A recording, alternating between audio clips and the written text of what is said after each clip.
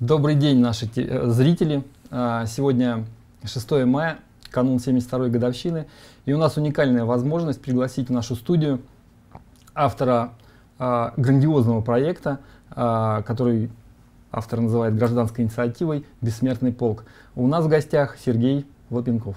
Здравствуйте, и я, наверное, сразу поправлю вас, если вы не против, я не автор истории, я один из инициаторов, и поскольку я являюсь таким самопровозглашенным спикером полка, то есть товарищи доверяют мне, как правило, выступать от имени нашего сообщества людей, э, то вот чаще всего меня связывают все мои авторства, но я не автор, и мы не авторы на самом деле, я, наверное, поясню этот момент сразу, э, потому что действительно идея собрать людей с фотографиями своих предков, она пришла в голову моему товарищу Игорю Дмитриеву в 2011 году, и в 12 на следующий год мы ее реализовали. Игорь, кстати говоря, придумал и название «Бессмертный полк», перебирали разные варианты, был «Забытый полк», была «Бессмертная рота».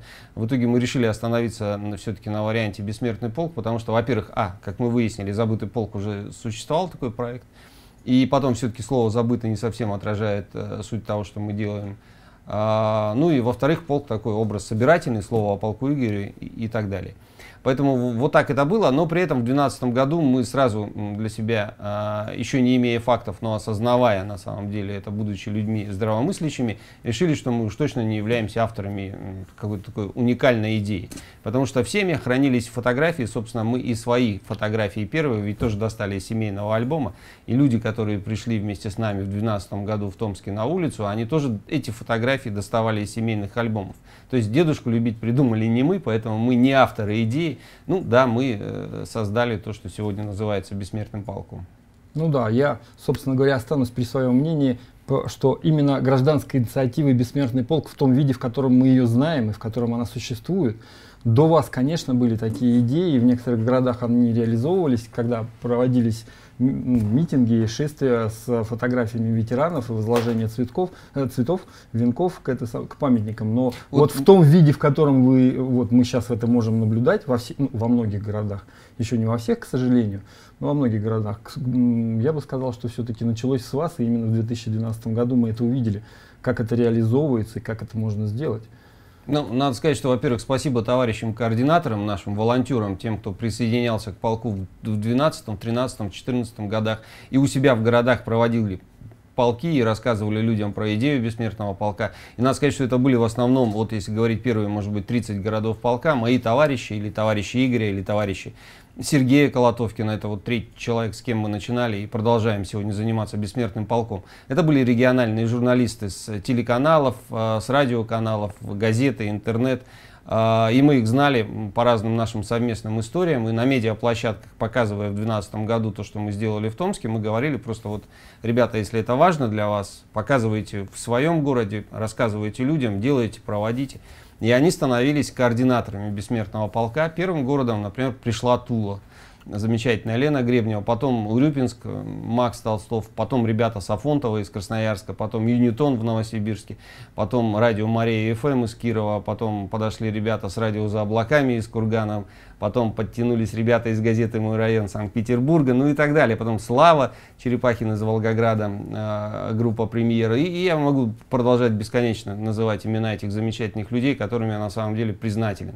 Потому что без них мы бы не рассказали такой огромной стране, как наша, про бессмертный полк, не имея при этом никакой поддержки, ни материальной, естественно, от чего мы отказались сразу принципиально, не информационной поддержки сверху. А вообще бессмертный полк это история такая горизонтальная абсолютно, это история история, а, которая переходила от человека к человеку, и это делало ее крепкой, на самом деле, с самого начала. Угу. Замечательно. А, в этом году получается пятый практически юбилей для такого гражданской инициативы или для такого социального проекта. Получается юбилей. А, этот проект, а, конечно же, он развивался и менялся, и мы видим, что а, тот, кто был на первых митингах или этих шествиях, видит изменения, существенные изменения в организации и отношение власти к этим вещам. То есть это стал популярный проект, это стало популярное название. Можете подвести итог, вот э, как вы видите, насколько это развилось на данный момент за пять лет – и планируете ли вы его развивать? Развивать, понятно, что вы для себя определили это горизонтальное развитие, вовлеченность городов различных. А, Ну, сейчас не секрет, что это уже шагнуло в страны СНГ. Ну, собственно говоря, изначально шагнуло, да. А, причем, не будем скрывать, в некоторых странах это вызвало некоторую агрессивную реакцию на такое развитие. А теперь мы слышим о том, что в Америке стали популярны и георгиевские ленточки, и символика на 9 а, мая именно. Как вы вот можете проследить от начала, как это развивалось, к чему пришли на данный момент и куда вы планируете продвигать его? Ну, давайте вот рассыплю на несколько вопросов Отлично. вашу просьбу. Начну, наверное, все-таки с того, что да, мы не планировали создавать движение. История бессмертного полка в 2012 году для нас это была история абсолютно личная, семейная. Я это сделал, потому что я внук солдата. Игорь и Сергей сделали ровно исходя из тех же мотивов, то, что мы вот, в общем, в 2012 году в Томске впервые собрали бессмертный полк. И такая история, как бы, вот моего личного долга. Я считаю, что я вот хотя бы немножко смог отплатить, э, скажем, за тот ну, невероятный подарок, который мне сделал дед в свое время, да. Он и вот его поколение. Mm-hmm. Все-таки выиграв ценой неимоверных усилий ту самую страшную войну, которая, ну, в общем, была как бы вопросом или да, или нет. Если бы победы не было в этой войне, то, наверное, не было бы и нашего с вами разговора, или это была бы какая-то совсем уж другая история. И это, это вот, во-первых, ну, когда первый полк был собран, и мы посмотрели просто на людей, которые э, вот стояли вокруг нас на улице, на эти 6 тысяч горожан, первых, может быть, там 6,5, мы никогда особо не увлекались подсчетами и статистикой. Нас не это интересовало, потому что полк все-таки это история персональная, конкретного человека, да, и она этим важна, а не тем, что собираются огромные массы. Но все-таки мы увидели, что люди стояли вокруг нас очень разные. Многие из них, ну, наверное, в жизни бы друг с другом никаких дел бы не имели. Не подошли бы, не поздоровались, да, вот настолько антагонизмы между ними были сильны в другие дни года, да. Но вот э, 9 мая, 12 им удалось это как-то преодолеть в себе, э, и думаю, без особых усилий, да, потому что был такой общий крепкий знаменатель. Нам показалось, что эта история важна не только для нашего города, потому что страна у нас, она, к сожалению, переживает не лучшие времена, люди очень серьезно расколоты, разобщены а, по идеологическим, политическим, конфессиональным там, соображениям, социальным там, и так далее. Да? А, это такое очень опасное состояние, такая дефрагментация, которая может просто привести к тому, что ну, страна в какой-то момент перестанет существовать в привычном нам виде, да? чего бы не хотелось, наверное. И мы решили, что, ну, наверное, эту историю нам теперь надо рассказывать. И вот потом началась та цепочка встреч, да, те, те медиафестивали, ну, помогли первые материалы информационные, которые попали и в телеэфиры, и в интернет. Кстати говоря, в 2012 году Первый канал снимал сюжет, за что ему отдельное спасибо. Uh-huh. Пару лет они нас снимали, да. И этот сюжет сыграл тоже очень хорошую, э, существенную, мне кажется, роль а, в том, что про идею бессмертного полка узнали. Появился сайт мойполк.ру, да, который попал в интернет. Вот да, можно его увидеть. Сегодня это народный мемориал, абсолютно самодостаточная история. И такое, как бы я сказал, проявление личной памяти человека э, вот в виде этого народной книги а, электронной. Но, э, значит, вот, вот первое, да, то есть мы осознали, что нам придется дальше эту историю рассказывать. Не строить организацию, не а, там, значит, преследовать какие-то стратегические, геополитические или иные цели, а просто рассказывать историю. А, и я продолжаю это делать до сих пор, вот теперь уже в вашей студии. И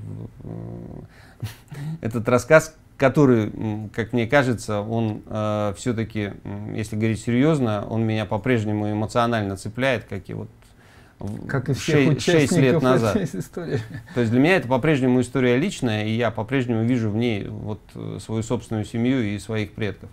А следующий момент, э, конечно, очень важный, э, что нам хотелось довести бессмертный полк до состояния народной традиции. Да? То есть первые несколько лет, да и сейчас, организация бессмертного полка все-таки требует усилий координаторов, но уже в меньшей степени, на наш взгляд, чем, скажем, 3-4 года назад. Почти не существует никаких административных барьеров. Здесь скорее уже надо говорить о том, что а, поддержка со стороны бюрократии, она, к сожалению, слишком активная бывает временами. Да? А, то есть появились проблемы другого порядка. Если а, в 2013 году координатор приходил к чиновнику, и он мог закрыть перед ним дверь, отмахнуться, там, идите вы со своим, как вы там, как называется, бессмертный, не, не понимаю, о чем я это. Угу. У нас вот есть парад, там у нас, у нас все нормально, все по плану. А, то сейчас, э, к сожалению, происходит какая-то обратная ситуация.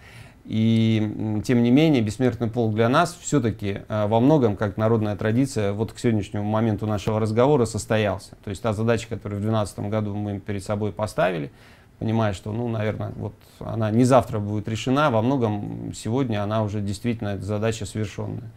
И если говорить дальше о других странах, в которых существует бессмертный полк, ну да, бессмертный полк шаг, шагнул через границы России. Мы это первый раз сделали в 2013 году, побывав в Казахстане, например, на съезде региональных телевещателей. Спасибо организации Интерньюз, которая нас туда пригласила. И мы смогли рассказать людям, собравшимся, опять же, нашим коллегам, журналистам э, в городе Шимкенте о том, что такое бессмертный полк. И мы увидели, что для них вот это, в общем, тоже история важная. Потому что э, все-таки мы как бы имеем общее прошлое историческое. Да, и эта война для нас всех, это часть этого прошлого. Э, в Казахстане сегодня, если не ошибаюсь, почти в 20 городах существует бессмертный полк. Правда, в этом году, насколько я понял, там существует такая неофициальная позиция властей, она нигде не декларируется, но она есть. А в государственных СМИ не освещать проведение бессмертного полка. Там не запрещают и не отменяют под какими-то э, надуманными предлогами, как в Таджикистане или как, например, э, в Узбекистане, да, где тоже вот люди второй год подряд не могут получить ну, какого-то формального разрешения на проведение бессмертного полка, но при этом никто, конечно, их там не преследует, просто не разрешает и все. Они ищут какие-то другие формы да, для того, чтобы 9 мая, вот все-таки вспомните о тех, кто прошел через войну. А в Казахстане там ситуация иная, там все, все там даже, даже акиматы участвуют в организации бессмертного mm-hmm. полка во многих городах. Э, но вот, вот почему-то вот такое. Ну, это, это проявление политической ситуации сегодняшнего дня, к сожалению. А, тогда же в 2013 году Бессмертный полк появился на Украине, в Днепропетровске проводили наши товарищи его первый раз. Это был очень мощный марш. И в Симферополе, который был тогда э, под украинской администрацией, тоже был Бессмертный полк в 2013 году. А, в 2014 ситуация на Украине поменялась, и это не был уже бессмертный полк, э, который выглядел как некое такое, значит, наше общее э, для России и Украины движение. Это была история все-таки украинская, ее поддерживал телеканал Интер. Она э, называлась тогда в 2014 году «Бессмертный полк». В этом году я знаю, что это будут э, либо, как же это называется-то, то ли, ли, то ли лики победы, то ли лица победы. Ну, в общем, как-то другое название существует для, ну, ну, принцип тот же самый. То есть люди будут вспоминать своих предков, выходить с портретами своих ветеранов, вот такая история, которая, собственно, развивается на Украине уже как внутренняя. Что касается бессмертного полка, на Украине сегодня три бессмертных полка зарегистрировано. Да, ну, конечно, это связано с определенными политическими, видимо, а, перспективами, которые пытаются извлечь из этой темы те, кто создает эти полки. Есть люди, которые поддерживают контакты с нами, а, с, с таким, ну, как бы первоначальным, может быть, бессмертным полком. Э, или, скажем, с тем, что мы называем все-таки сообществом людей, да, а не организацией, мы себя не считаем организацией в полной мере. Э, более того, мы принципиально сторонимся каких-то вот элементов э, структурности в нашей работе, хотя у нас есть отлаженные контакты, коммуникации, но все-таки мы в первую очередь уделяем, наверное, пристальное внимание желанию людей участвовать в том, что мы делаем, да, а не назначению их на какие-то посты. Ну, вот те, кто в Украине поддерживает с нами контакты сегодня, они приходят к нам ровно потому, что они не видят в том, что мы делаем политики, они понимают, что это совершенно э, преследует иные цели. И для нас вот тема личной памяти, развитие темы памяти, наверное, личной, да, вот очень важный такой элемент. Э, и ничего другого внутри бессмертного полка для нас нет. Понятно. А, то есть, собственно говоря, вот э, дальше стран СНГ вы вот это вот движение поддерживать или координировать как-то вообще не хотите? Ну почему? А, вот на нашем сайте сегодня зарегистрировано а, в качестве координаторов 53 государ... 53 а, координатора в 53 странах. Может быть, даже сейчас больше, потому что мы открывали страницу в последние дни для а, Эдинбурга, а Шотландия, мне кажется, скоро станет отдельным, еще, еще, одно, еще одним государством на карте, возможно. Открыли страницу для Нигерии, для э, Катара открыли страницу. То есть люди приходят к нам, ну, наверное, их тоже привлекает то, что мы, как бы, очевидно, э, выглядим как люди, которые, ну, являемся этими людьми, если позволите принять, конечно, себе на веру это утверждение мое, а, которые внутри полка не ищут э, материальной выгоды, карьерных э, каких-то для себя новых ступеней не выстраивают благодаря полку и так далее. То есть а, и мы, конечно, мечтали о том, что, чтобы рано или поздно бессмертный полк ну, стал уж совсем совершенно народной традиции, на подобие того, э, ну, например, чем является для нас с вами Новый год. Ведь не надо никаких координаторов, организаций и даже сообществ для того, чтобы встретить Новый год, когда человек понимает, что ему надо делать. Да? В этот день это елка, оливье, немножко веселья и так далее. Примеры легкомысленный, но по, по сути своей 9 мая, безусловно, мне кажется, достоин того, чтобы стать такой же народной традицией. И вот в городе Томске, к примеру, угу. где бессмертный полк начинался, э, уже в прошлом году во многом это было так. Потому что была большая колонна, и э, я видел, что собралось не меньше 20, может быть, 30 даже тысяч человек. Э, но не меньшее число горожан не встали в колонну. Они просто были на улицах, и вот когда мы шли по проспекту, я это видел, у них в руках были портреты их предков, э, рядом с ними были их дети, цветы, и они семьями шли в лагерный сад, где горит вечный огонь, для того, чтобы вот просто там положить цветы или приколоть их э, к стелам с именами ушедших на фронт мечей, потому что очень многих там остались их предки. Угу. И это для них было естественно. Им не надо было рассказывать, когда, как, зачем это нужно делать. Вот они видят 9 мая, в первую очередь, истории э, конкретного человека – от которого они, собственно, и произошли в конечном счете угу. на этом свете. Понятно. Ну, конечно, мне не удивительно, что такая идея родилась, и люди такие, которые смогли это воплотить, они появились именно в Томске. Особый город, особая среда, имея население там не я очень можно, большое. Можно вот прежде чем мы дальше Асану Томску продолжим, я должен сказать, что самая давняя из известных нам историй, она, конечно, тоже имеет сибирские корни, что мне как сибиряку приятно, но она все-таки произошла не в Томске, а в Новосибирске. Это был 1965 год, это впервые год, э, когда, э, это год, когда впервые отмечался День Победы как официальный праздник государственный. То есть до 65 года он не был праздничным днем а, и выходным тем более. Да. И вот в этот год ученики одной из школ города Новосибирска, они прошли с портретами своих отцов-фронтовиков. Потом были истории очень похожие на полк. Это был, э, например, город Соликамск в, Пермс, в Пермском крае. Вот mm-hmm. Рмском крае. Да, где женщины в 86 году пронесли портреты своих мужей и сыновей, не пришедших с войны. Затем была Ухта, затем были станицы а, Краснодарского края, где вот тоже подобное в школах происходило. Была школа еще в Красноярске. Мы не нашли, к сожалению, следов, в отличие от новосибирской школы документальных, чтобы зафиксировать на сайте. Но мы ищем, нам важно, да, потому что вот тот тезис, которые мы в 2012 году сформулировали, что у истории народные корни. Мы не знали про все эти примеры, мы это чувствовали, но мы это собрали в конечном счете. И был потом Севастополь, и была потом Тюмень, и были потом, например, улицы Иерусалима в 1999 году, где люди тоже уносили фотографии своих солдат. А, это, а, в конце концов, ведь еще было и у Большого театра в Москве, где собирались фронтовики, приходили с фотографиями. Это было в городе, где я вырос где э, тоже 9 мая фронтовики, такие крепкие мужчины. Вот, в Красноярске. Да, да, в Красноярске, вот в, в закрытом Красноярске, этот город э, называется сегодня Железногорск, а раньше Красноярск 26. И 9 мая на гражданскую манифестацию, как называли там мероприятия, посвященные Дню Победы, mm-hmm. всегда приходили ветераны, и у многих в руках были фотографии. И они потом выпивали так немножко, как-то принято было по кустам, ресторан «Зеленый дуб» э, радушно распахивал свои ветви. И я это видел, потому что вожатая у нас была хорошая Ира, она водила нас смотреть на ветеранов, дарить им цветы, для того, чтобы могли как-то прикоснуться к этим людям. Но тогда это не было проблемой, потому что да, ветеранов сейчас, было много. Сейчас, сейчас их нет. Сейчас практически не осталось, и, к сожалению, вот э, к сожалению, иногда за ветеранов принимают каких-то очень странных людей, которых можно видеть на параде. Бывает. Но, кстати говоря, последнее время появилось ряд вопросов. Я вот смотрю периодически эту тему, потому что мне вот «Бессмертный полк» очень нравится. Сразу скажу, очень нравится. И как он был подхвачен, и как организован, и как сделан. А, много вопросов в этом году, в прошлом году было. А у меня отец не может идти на этот самый. Можно я, он у меня не умер, можно я с ним пройду. То есть люди для себя вот такую ставят. Он же живой, ну, то есть еще к бессмертному полку не примкнул, да, можно я это самое приду. Я всегда пишу там, идите, ну, человеку покажете, будет приятно. Конечно. Вот, поэтому, ну, опять... А бывают опять... странные вопросы. Вот я да, сегодня, да. например, звоночек мне был из Германии, позвонил человек, спросил, я по новостям слышал, я не стал уточнять, по каким новостям, предполагаю, mm-hmm. что по иновещанию, вероятно, кого-то из федеральных каналов, о том, что есть волонтеры, которым можно поручить пронести портрет в Москве по Красной площади. Я сказал, что вам мешает в городе Бонни, где вы живете, 9 мая, каким-то образом отметить 9 э, отметить День Победы, э, например, да, угу. вынеси фотографию своего предка. Там, ну, может быть, в Бонне нет этих кладбищ воинских, хотя почему?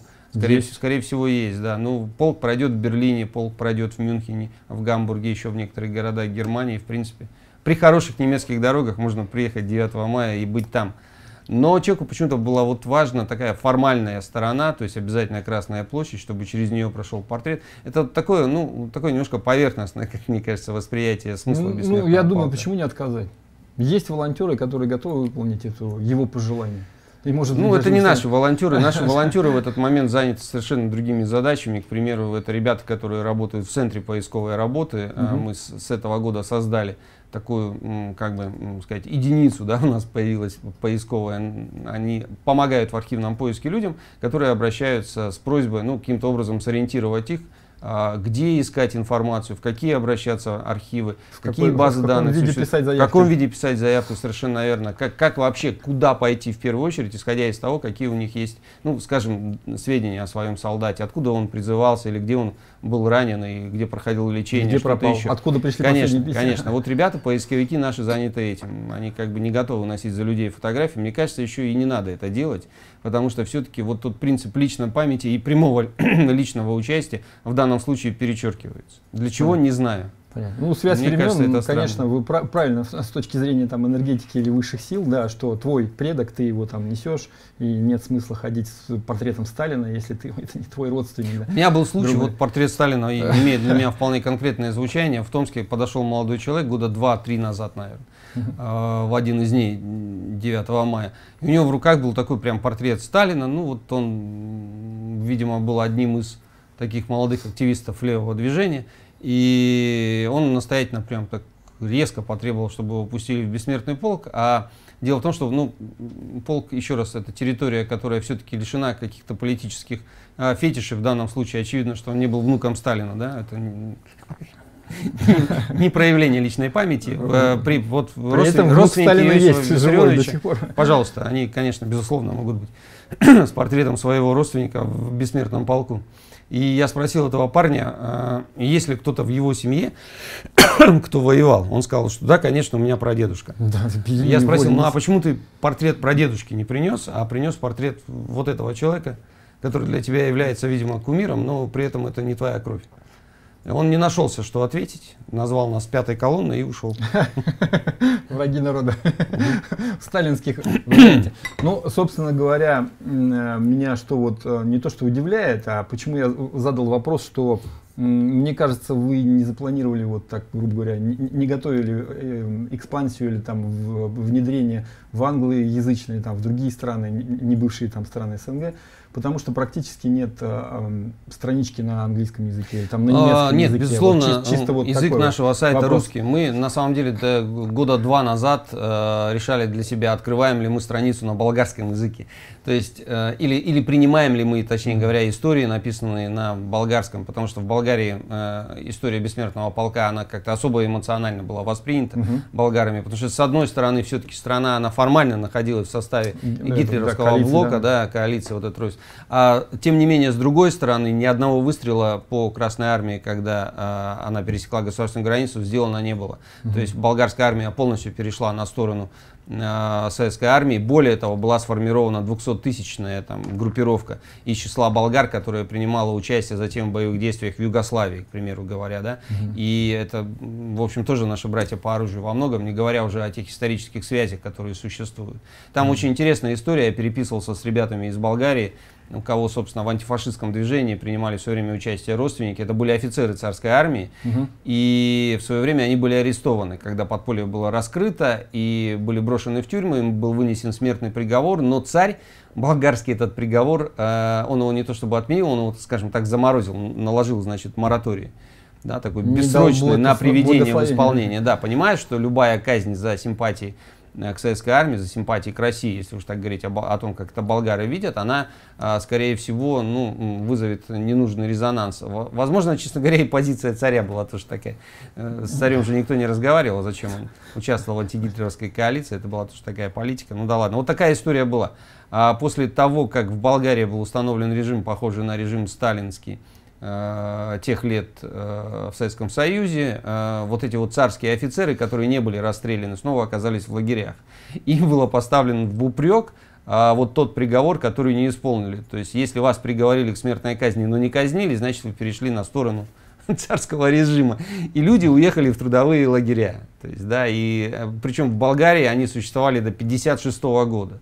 В отличие там, от Советского Союза, где после смерти Сталина были уже начаты какие-то. Э, процессы освобождения заключенных, там реабилитационные какие-то процессы. Вот в Болгарии все было пожестче почему-то. А, ну, вот такие истории, да. Но язык сайта русский, это безусловно, и он объединяет в первую очередь тех, кто все-таки именно этот язык считает своей общей, баз, общей основой. Независимо там, кто Едино, сегодня... Единомышленники на русском языке. Понятно. А, вот у меня такой вопрос, как к историку уже, и как, собственно говоря, человеку, перед которым фактически какие-то события и э, это самые материалы прошли и по, и по бессмертному полку и так далее. 9 мая, если официально прочитать, мы празднуем День Победы в Великой Отечественной там, войне. Да? На самом деле мировое значение этого День Победы во Второй мировой войне. Почему весь мир так агрессивно воспринимает, и некоторые даже не празднуют, почему о жертвах корейцев, э, китайцев в этой войне тоже колоссальные. 8 миллионов корейцев, которые там Северная Корея не может простить Японии, например, а там Южная Корея невыгодно ей вспоминать про это, да? А почему мы празднуем именно Отечественные войны? Почему вот мировое сообщество не празднует 9 мая в таком масштабе, как Россия, как день окончания Великой Второй мировой войны, по сути дела. Вы знаете, я думаю, что, э, ну, наверное, все-таки надо иметь в виду, что Европа отмечает день окончания войны, безусловно, отмечает, потому что Европа была перепахана этой войной, и не помнить ее невозможно. Они отмечают это на день раньше, 8 мая, как вы знаете. Хотя, в принципе, вот если говорить об, об окончании Второй мировой войны, то была еще и кампания на Дальнем Востоке. И вот с ее завершением уже в сентябре, можно считать, официально завершилась Вторая мировая война. По-моему, 2 сентября, да? Нет, нет, могу ошибаться, сейчас ошибаюсь. То есть не, не буду сентябрь 45 по идее, да, окончание Второй мировой войны. Мировой войны. Это, и это вы знаете, отношения в Европе на самом деле оно очень разное. Вот я знаю примеры, как в Норвегии бережно относятся к кладбищам советских солдат, да, и советских заключенных, которые трудились на военных заводах Германии, да, там. Угу. И был просто случай, когда в одном норвежском городке, к примеру, Uh, упал обелиск на таком кладбище. Что было бы у нас, если бы на кладбище uh, упал обелиск? Сразу бы собрали бы комиссию, поставили бы задачу найти фонды бюджетные, да, написали бы несколько куда-нибудь обращений. Через какое-то время жители провели бы пикет, местная газета бы начала что-нибудь писать на этот счет. Да. Прошло бы года полтора, а мемориал был бы разрушен. А если бы вдруг, конечно, мимо не проехал президент страны, тогда бы мемориал восстановили на время проезда, потом бы он снова рассыпался, потому что сделали бы это тяп-ляп. В Норвегии на следующий день мемориал был восстановлен, на следующий день. Без всяких статей, без обращения жителей. Да? Просто по факту того, что на кладбище обрушился памятник. И вот, понимаете, вот в этом отношении должно сказываться к, к войне и к людям, которые на этой войне погибли. А у нас ветеранам до сих пор дают квартиры. Это цинично, мне кажется, очень унизительно. Я живу на свете 47 лет. 47 лет ветеранам дают квартиры. Да, если их когда-то действительно раньше давали, и это было актуально, то вот сейчас это просто выглядит как каким-то симулякром циничным. И в Европе, в Европе все очень по-разному. Да? И, на, конечно, отношение к этому накладывается политика сегодняшнего дня, это безусловно. Но говорить о том, что Европа не помнит, нельзя. В Америке, к примеру, э, вместе с нашими э, однополчанами, американцы участвуют. Ну, не так, конечно, массово, это безусловно, но в Нью-Йорке были случаи, а, потомки солдат, которые принимали участие в антигитлеровской коалиции, присоединялись. В этом году в Арканзасе, в Литл Рок, а, город, родина Майкла Джексона, кстати, угу. там координатор хотела бы тоже вывести американцев. То есть она им рассказывает, напоминают им о том, что, друзья, у нас была общая война. В Архангельске, к примеру, курсанты-мореходки в этом году понесут в рядах бессмертного полка портреты британских моряков, которые погибли во время северных конвоев, да, которые везли очень нужный для нашей страны ленд-лиз, без которого еще сложнее, наверное, было бы тяжелее одержать эту победу. И это все очень важно, потому что это на самом деле напоминает нам об общей истории. Вот в Архангельске, когда э, замечательный человек э, по фамилии Терентьев, директор музея арктического а, с этой инициативой пришел куда-то там в органы, которые там занимаются сейчас организацией полка, ему сказали, может быть, не надо, и так международное положение сложное. Вот он написал мне, я сказал, ну, если вы считаете это важным, вы это делаете. Потому что, возможно, вот это сделает международное положение чуть проще. В Израиле, к примеру говоря, с э, потомками солдат Красной Армии вместе выходят потомки тех, кто сражался в европейском сопротивлении. То есть это тема, которая напоминает людям на самом деле о том, что вот это не была там война режимов, да, это была война, вот на мой взгляд, света и тьмы. Uh, в результате которой там, да, победу одержали люди. Между людьми тоже есть проблемы. Лю люди между собой ссорятся, у них разные президенты, у них разные там социальные устройства бывают, но они люди при этом. И эти люди воевали с теми, кого людьми назвать нельзя, с моей точки зрения. Хорошо. Понимаете? Ну, время нашей трансляции подошло к концу. Большое спасибо. А, на самом деле вы действительно, как бы вы там не скромничали, не говорили на предыдущих, в том виде, в котором существует бессмертный полк, а, на всю жизнь авторами проекта останетесь вы трое. А, родиной все равно будет прописан Томск, что меня очень радует. Большое спасибо за информацию, за то, что к нам пришли. И я надеюсь, что у нас получится получить репортаж из Томска с родины бессмертного полка. Ну, я думаю, что это можно все увидеть будет на наших страницах в социальных сетях, в Фейсбуке и ВКонтакте, поэтому в том числе и видео из Томска. Да, спасибо вам, спасибо. что пригласили. Да.